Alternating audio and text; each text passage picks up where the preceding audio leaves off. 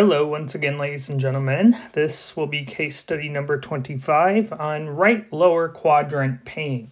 Very common to see in the ER, very important to really get your differential diagnosis down. If you haven't had the chance yet, please consider subscribing to my Patreon. You can get there by clicking the link in the description of the video or on the I button in the upper right hand corner. I appreciate all of you who have already stepped up to donate and those of you who are considering it. So thank you very much in advance. Okay, we got a 27 year old white woman coming into the ED complaining of right sided abdominal pain over the last nine hours. It began when she woke up this morning and she thought it was gas, but it's only worsened throughout the day. She's tried a calcium carbonate antacid and famotidine, but neither have helped. She describes the pain as stabbing and rates it as 7 out of 10 and quickly worsening. She denies any other symptoms, including diarrhea and vomiting, but says that she has been somewhat nauseous. She's very concerned that she is pregnant. Her last period was four weeks ago, and she says that her cycles are unpredictable and can be anywhere between three and five weeks. She works as a barista. She's monogamous with her husband, and there are they're not using any form of birth control. And I'll just add, she doesn't smoke, drink, or do drugs. Family history is non contributory. She's got no significant past medical history and is on no medications uh, except for a prenatal vitamin. And her vitals show an elevated blood pressure, an elevated heart rate, and an elevated temperature. What are we going to do for our physical exam? So she is in the ED, so we're going to keep this pretty targeted. So she's in visible pain, heart and lungs are fine, abdomen. Okay, so the pain is worsened on palpation of the left lower quadrant, but appreciated in the right lower quadrant. This is called Rovsing's sign. Okay, you should look up what that means. Guarding on palpation of the right lower quadrant and near the umbilicus, diminished bowel sounds throughout, non-distended. Uh, anytime there's a GI issue going on, abdominal, uh, you need to do a rectal exam and it comes back normal. And we're going to take a look at her genitals. Uh, normal female genitalia, uterus not enlarged, no adnexal masses or tenderness, i.e., normal. Okay, what's our differential? So we have a broad differential for right lower quadrant pain. Now, you may have your idea of what right lower quadrant pain is caused by. However, localization of pain is not perfect, so you want to consider adjacent regions. So think of periumbilical pain or lower, uh, maybe pelvic pain, um, and even possibly think of causes of right upper quadrant pain too. Um, so what we're going to be looking at is a variety of different causes of abdominal pain, and then we also need to consider, uh, because this is lower pain, we need to consider some of the urogynecologic causes as well. So our initial workup, we first need to consider the immediate order. So this is a patient that's nauseated and in pain. We need to tend to that first. So we're going to give her IV morphine, but make sure to check her allergies first. On CCS, it's going to be really important. You don't want to give a patient morphine if they're allergic. It's a common allergy. We're going to bolus her with saline, and then we're going to give promethazine, very quick acting antiemetic, can be given IV.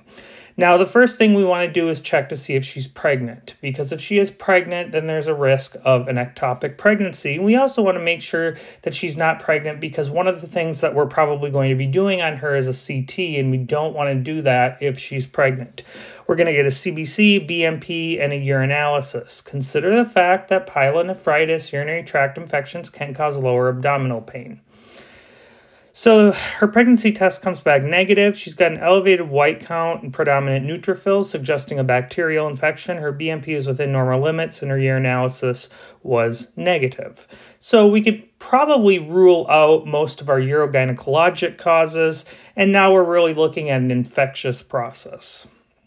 So our next thing that we're going to do is a CT abdomen. We're really, really considering appendicitis here. And the CT comes back with a dilated appendix at 8 millimeters with wall thickening and enhancement. There is fat stranding, and an appendicolith is identified, also known as a fecalith. So the diagnosis here is acute appendicitis. What we want to do here is we want to give uh, do all of our basic preoperative orders. So we want to give pre-op antibiotics, which we can use cefoxitin. Uh, she's going to be NPO. Anytime you make someone NPO, you've got to give them something to keep their blood sugar up and whatnot. So uh, that's going to be IVD half normal saline. Uh, we're going to type in cross match and get a PT PTT. We pretty much do all this stuff always for surgery. We're going to, of course, consult general surgery, and you're going to need to know on CCS what you're going to be doing, and that's going to be a laparoscopic appendectomy. Now, there is non surgical management for appendicitis that's kind of coming in vogue, uh, but don't even think about that for CCS. You're going to do an appendectomy. So acute appendicitis is an inflammation of the vermiform appendix, usually due to a fecalith or in particularly in children, inflamed lymphoid tissue, so it can follow a viral infection. It tends to present in phases. Initially, it starts out as kind of nauseous, flu like symptoms, maybe uh, just kind of feeling out of it, maybe some vague periumbilical pain. And then with time, that starts to migrate to the right lower quadrant and they start to spike a fever. After days, if it doesn't get treated, they can have perforation, which is going to lead to an acute abdomen. They can become febrile and septic. The best initial step for a patient with severe abdominal pain is to manage the pain. Okay, we're treating patients, we're not just treating diseases. So use IV morphine unless the patient has a contra uh, contraindication. The lab should be focused on ruling out pregnancy and urologic etiologies first um, particularly when we talk about women, uh, the best diagnostic step is going to be a CT abdomen. If you're dealing with a pediatric patient or a patient who's confirmed to be pregnant, then you'll want to do an abdominal ultrasound. If that doesn't give you um, the results that you're looking for, consider doing an MRI, but we want to avoid ionizing radiation. So avoid that. Uh, the management is going to be laparoscopic appendectomy, and remember your pre surgical orders on CCS. This is me. Uh, I got appendicitis not horribly long ago and uh, ended up in the hospital for two days. Not a good time. These are some of your common differentials with right lower quadrant pain. Acute chole tends to be right upper quadrant, worsens with meals. Um, they may get colicky. Um, and then you'll do a right upper quadrant sonogram. Acute peritonitis is generalized, they're very sick looking. Uh, nephrolithiasis is lower, but it usually radiates to the groin. Urinalysis would show red cells, um, and CBC is typically normal. Ectopic pregnancy, look for a positive pregnancy test. You go to do an ultrasound and you don't see a pregnancy in the uterus, but you find it in the tubes. Ovarian torsion is a very similar presentation, but they don't have a fever. There's usually a mass, um, especially on the ovaries. Um, at that point, if you feel a mass, you'll do a transvag ultrasound, and that will give you your diagnosis. Mittelschmerz is um, an interesting phenomenon in women where in the middle of their cycle they'll get pain, um, but they won't get a fever with this, and they'll usually have had it before. Endometriosis is cyclical pain. Uh, you can get endometriosis of the appendix. It's not uncommon, but again, this is something that they will typically have experienced before. Pelvic inflammatory disease, look for a history of STD, particularly gonorrhea. There'll be cervical motion tenderness and tubo-ovarian abscess, again, look for a history of STD or pelvic inflammatory disease, and again, you'll have cervical motion tenderness. This is uh, a nice little chart for abdominal pain by quadrant or section. What I like to do is if I hear that it's right lower quadrant pain, for instance, I not only look at the right lower quadrant, but I look a sector over um, on both sides. So we were going to consider in this, of course, appendicitis and some of the gynecologic causes, but we're also going to consider uh, nephrolithiasis, pyelonephritis. Um, we're considering ectopic pregnancy and so forth. Um, so don't just hone in on one quadrant, consider looking at others.